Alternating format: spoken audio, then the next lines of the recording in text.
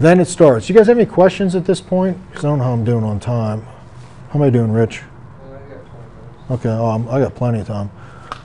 Um, then it starts, and you can just see the build out. I mean, this is the first tee. This is the commissioner's tent, uh, bleachers. I mean, this area was really, really cool, and this was this was uh, pretty cool for me. I got to meet uh, George W. Bush.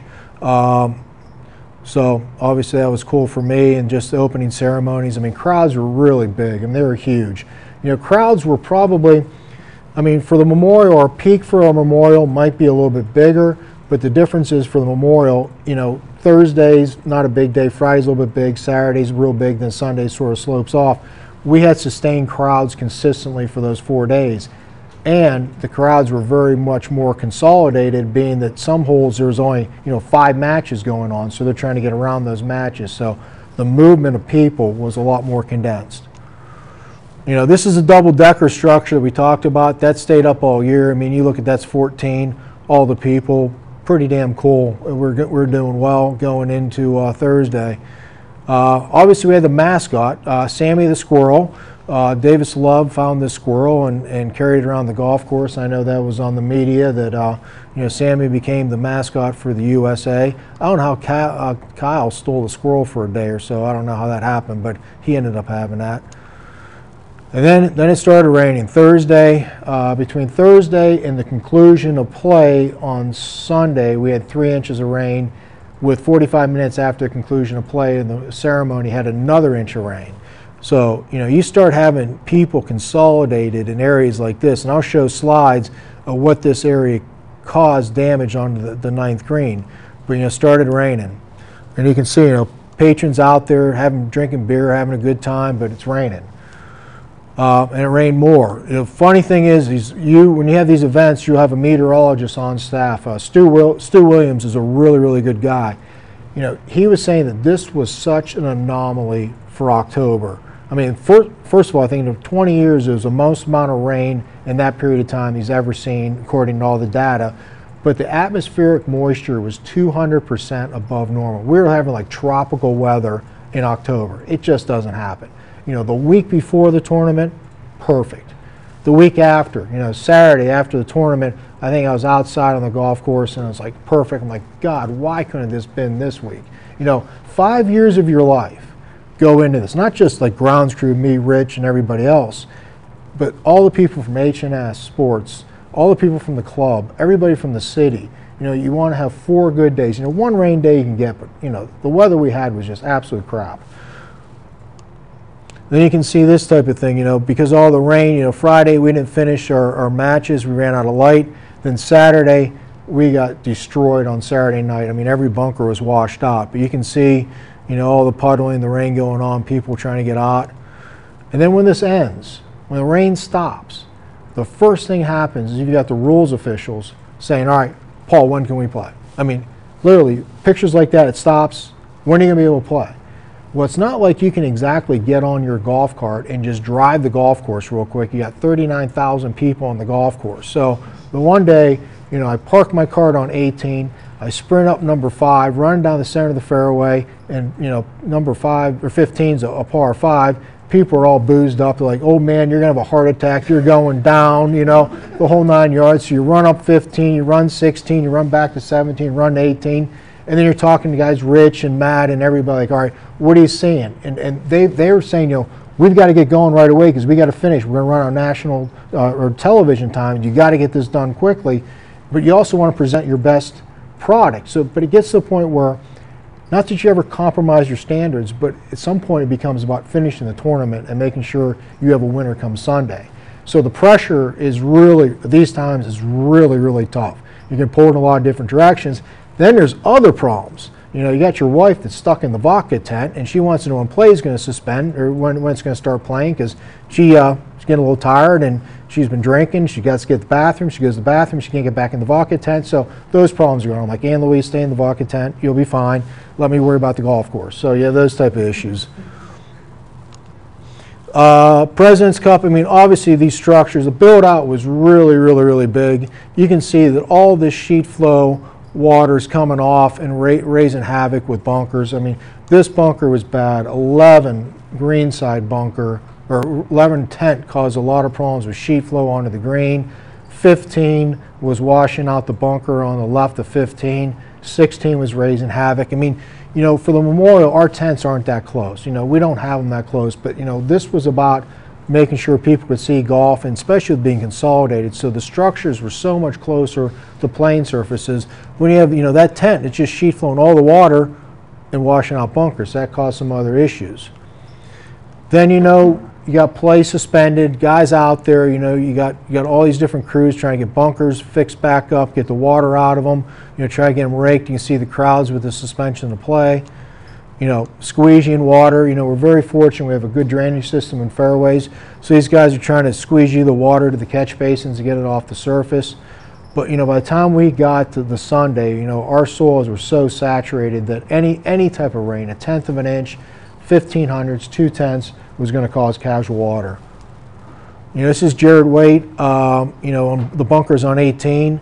Uh, you know, Jared uh, actually is one of our new assistants. He uh, volunteered for two memorials, and also the President's Cup was a standout volunteer. And with all the people we lost after the Pre- President's Cup, it was sort of a mass exodus. Guys, that got, I was very fortunate to have a lot of guys stay to do the President's Cup. As soon as the President's Cup was over, it was time for them to move on to superintendent's positions and you know other type of things. So we lost a lot of guys, and Jared's one of our newer additions.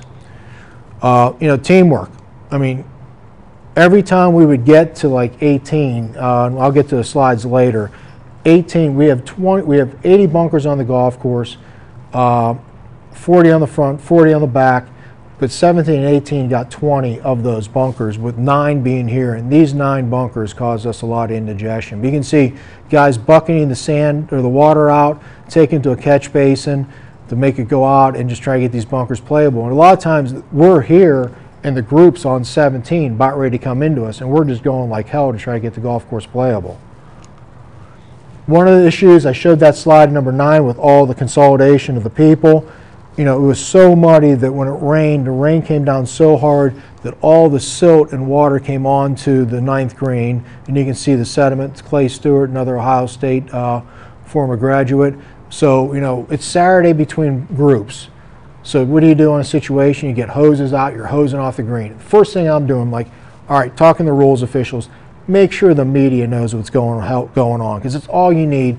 You know, Johnny Miller saying, well, you know, they're trying to get the grain out of the green by washing off whatever or some, something stupid that's not the proper not the proper thing. So you send out the message, make sure the media knows, hey, we got silt on the greens, we got to take that silt off because it's going to potentially impact the, the infiltration of the grain could ruin it so we got to get that silt off plus the, plus the, the aesthetic value of that. So you know it gets done raining you know an inch and you're out there with hoses washing off the green people would think you're nuts but there's a there's a reason for it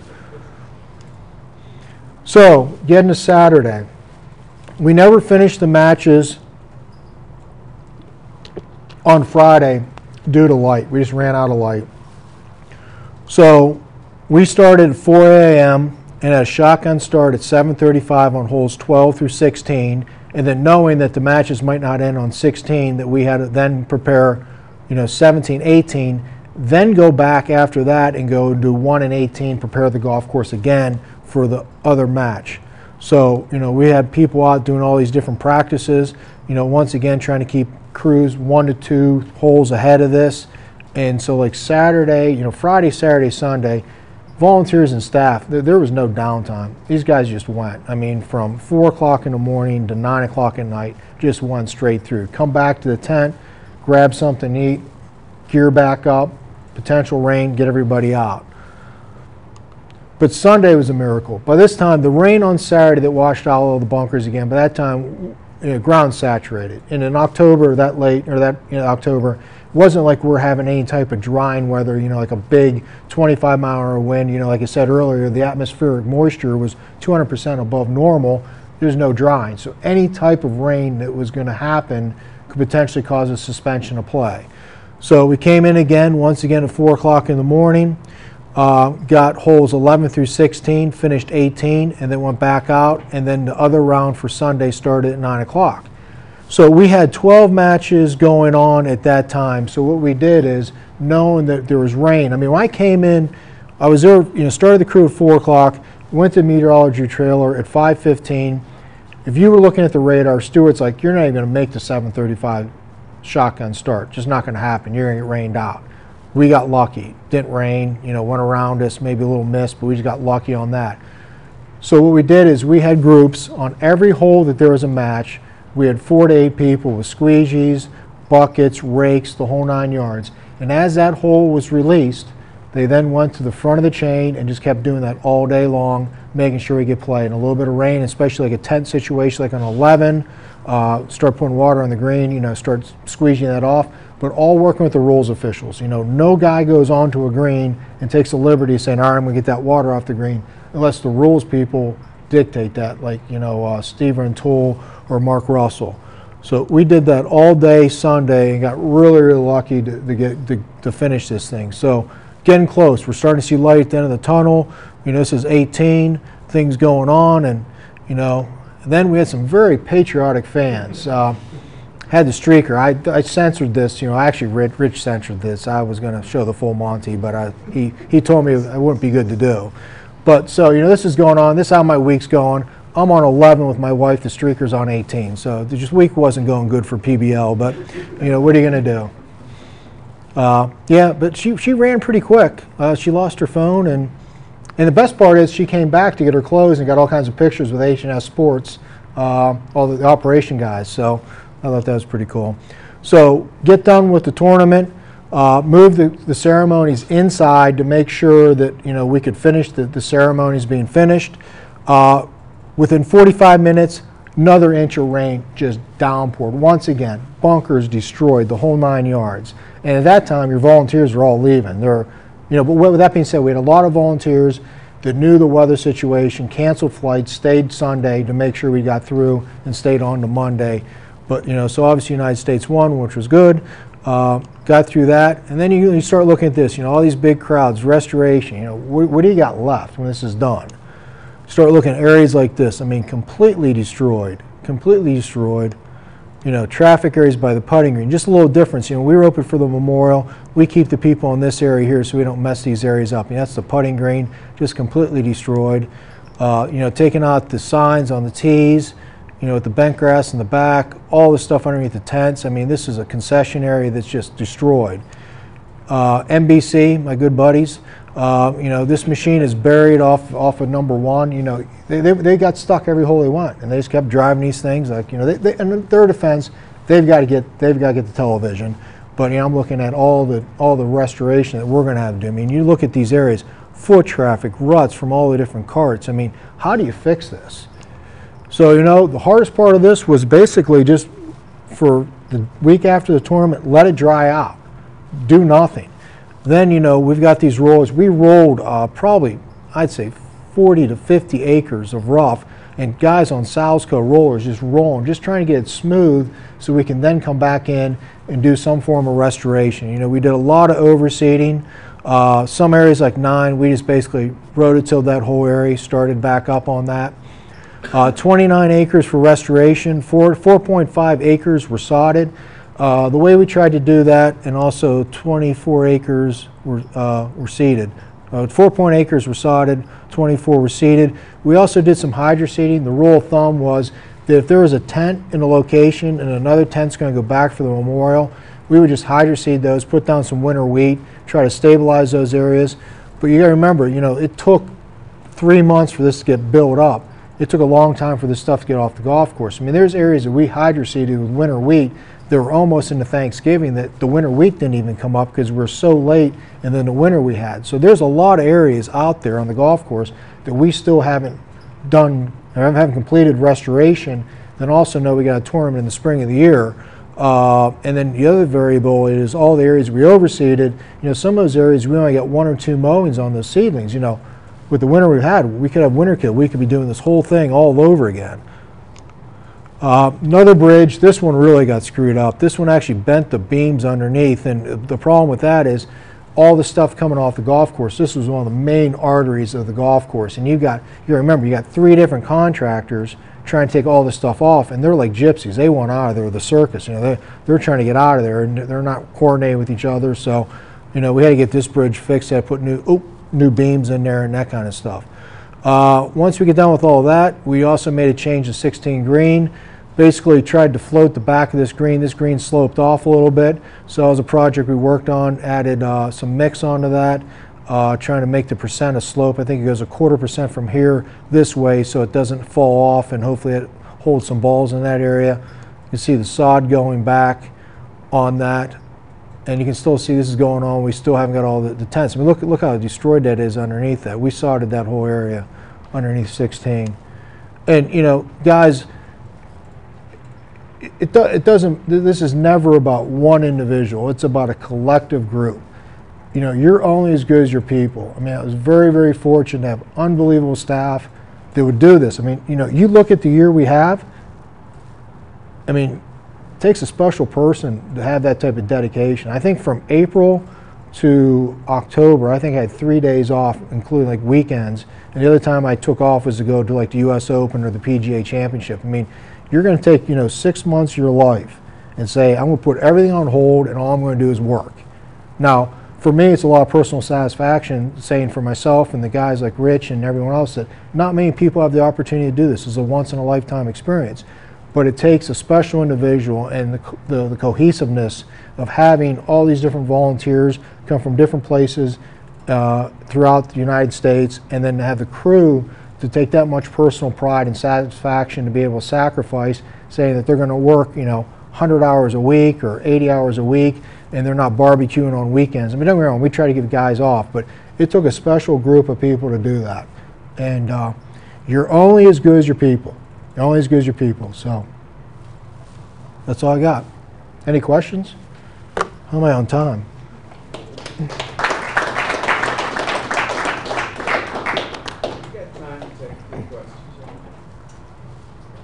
Yes, sir. Yeah, What was the uh, feedback from the membership like, obviously with the two, two big tournaments, a few months from each other? How many weeks was the golf course actually membership? Well, feeling? I mean, obviously, it, you know, I think the build out going through the summer and AT&T was something that was a little bit of an inconvenience, but you know, there's also a lot of personal pride. You know, a member, it's a member at Muirfield to be associated with the President's Cup. I think all the members are very proud of what happened. Uh, it was good for the fact that it came off well. I mean, obviously the rain was disappointing to a lot of people, but you know, all it is, I mean, our rounds were about the same. They just consolidated. I mean, you know, June, July, August, and September were very, very busy months for golf. Uh, I don't think we'll be doing any double tournaments anytime in the near future because it, it- it's a sacrifice. It is a huge sacrifice.